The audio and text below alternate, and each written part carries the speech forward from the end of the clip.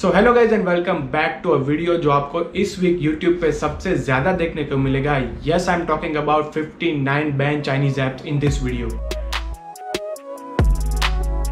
Indian government ने TikTok के साथ साथ 58 अदर चाइनीज़ ऐप को बैन किया इंडिया से और रीजन दिया है कि ये इंडिया की सिक्योरिटी पे खतरा है। और इस वीडियो में हम जानेंगे कि कैसे ये चाइनीज़ ऐप आपके फ़ोन से आपका ही डेटा चुरा के चाइना के सर्वर पर भेज सकती है और आपको पता भी नहीं चलेगा। वेल well, आप में से काफ़ी सारे लोगों के जो ये सोचते हैं कि ये एप्स है वो हमारा डेटा कैसे चोरी करता है या फिर ये हम पे स्पाइंग कैसे करता है? तो इस वीडियो में हम जानेंगे कि कैसे कैसे डिफरेंट वे है जिससे एप्स आपका डेटा लेते हैं या फिर आप पे स्पाई कर सकते हैं। According to an independent research by Indian security firm Chinese app जैसे कि हेलो टिकटॉक यूसी ब्राउज़र जब आप अपने फ़ोन में इंस्टॉल करते हैं तब वो माइक्रोफोन या फिर कैमरा जैसी परमिशन मांगते हैं और आप उसे परमिशन दे देते हैं। ना रियलिटी ये है कि टिकटॉक या फिर यूसी ब्राउज़र या फिर हेलो कोई भी चाइनीज़ ऐप हो उसे माइक्रोफोन या फिर कैमरा या एसएमएस किसी भी परमिशन की ज़रूरत नहीं है आपके फ़ोन में इंस्टॉल होने के टाइम पे पर फिर भी ये एप्स ये परमिशन मांगते हैं और हम उसे ये परमिशन दे देते हैं। अब प्रॉब्लम यहाँ पे ये होती है कि एज आपने ये परमिशन दे दी है माइक्रोफोन कैमरा या फिर एसएमएस की तो ये एप्लीकेशन कभी भी माइक्रोफोन कैमरा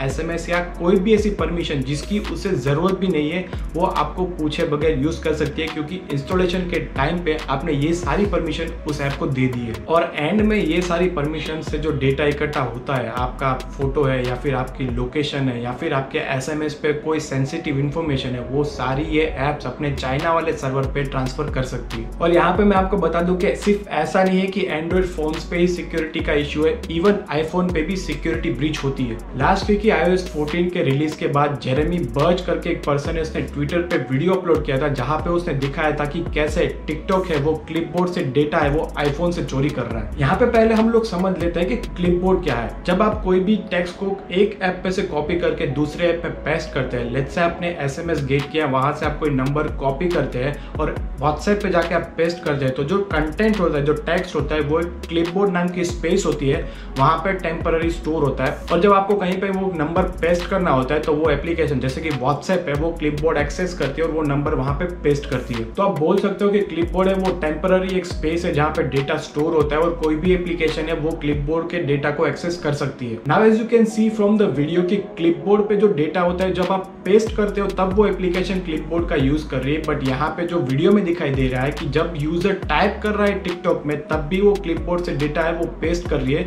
जो कि एक बहुत ही स्केरी चीज़ है। सो so, नाउ आपको पता चल गया होगा एक बेसिक आइडिया आया होगा कि चाइनीज़ ऐप हो या फिर नॉन चाइनीज़ ऐप हो कैसे आपका डेटा चुरा सकती है या फिर आपकी लोकेशन डिटेल से आप पे स्पाई कर सकती है। नाउ आई नो आप में से काफ़ी सारे लोग ऐसा सोचेंगे कि भाई हमारे फ़ोन में इतना इंपॉर्टेंट डेटा नहीं है या फिर हमारा कोई इतना इंपॉर्टेंट डॉक्यूमेंट्स नहीं है फ़ोन पे तो हमें इससे क्या फ़र्क पड़ता है? बट ऐसा नहीं है गाइज़ अगर कोई ऐप आपने डाउनलोड करके रखी है जिसमें आपने अपनी बैंक डिटेल्स डाली है या फिर आपके सोशल मीडिया क्रेडेंशियल उस पर है तो वो सारी चीज़ें वो हैक हो सकती है। चाइना के सर्वर पे या फिर आउट ऑफ़ इंडिया के सर्वर पे वो एप्लीकेशन सारा डेटा वो भेज सकती है और फिर वो डेटा आपका ब्लैक मार्केट में बिकेगा और आपके साथ काफ़ी सारे स्कैम हो सकते हैं। नाव इमेजिंग के कोई इंपॉर्टेंट पर्सन है या फिर कोई कंपनी है या फिर हाई रैंकिंग गवर्नमेंट ऑफिशियल है और उनके फ़ोन में इन 59 ऐप में से कोई ऐप है और वो ऐप उस पर स्पाइक कर रही है या फिर डेटा चुरा रही है तो आप सोच सकते हो कि वो कितना बड़ा प्रॉब्लम हो सकता है इंडिया के लिए या फिर कोई कंपनी के लिए या फिर कोई पर्सन के लिए।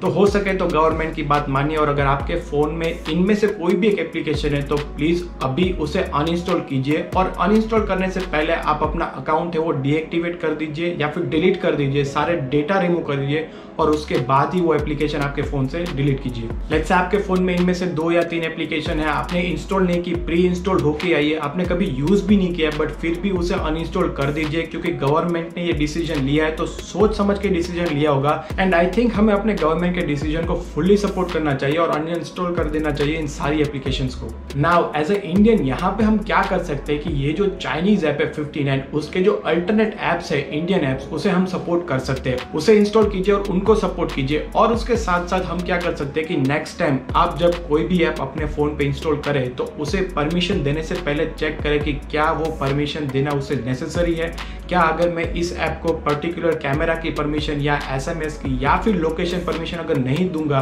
तो क्या वो ऐप फुल्ली फ़ंक्शन करेगी? अगर वो परमिशन देना ज़रूरी नहीं है तो फिर प्लीज़ वो ऐप को वो परमिशन मत दीजिए। सो so ये थे कुछ पार्ट जो मैंने इस वीडियो में एक्सप्लेन किए कि कैसे चाइनीज़ ऐप है, वो हमारा डेटा ही हमारे अगेंस्ट यूज़ कर सकता है या फिर हम पे स्पाई कर सकता है। तो आप ये वीडियो है, अपने फ्रेंड्स या फैमिली के साथ शेयर कीजिए और उन्हें भी बताइए कि ये 59 ऐप्स जो गवर्नमेंट ने बैन किए हैं, वो अपने फ़ोन से डिलीट कर दे और सुरक्षित रहे। वेल हम बॉर्डर पे जाके लड़ तो नहीं सकते बट हम गवर्नमेंट को सपोर्ट करके ये 59 ऐप्स को अनइंस्टॉल करके हमारा कंट्रीब्यूशन ज़रूर दे सकते हैं। So that's it for today's video अगर ये वीडियो आपको पसंद आया then please hit the like button अगर आप नए हो तो सब्सक्राइब करें और डेफिनेटली ये वीडियो अपने फ्रेंड्स एंड फैमिली के साथ शेयर करें ताकि उनको भी पता चले कि फ्यूचर में ऐसी ऐप से कैसे अपने आप को और अपने डेटा को सिक्योर रखना है। And we will see you guys in our next video have a great day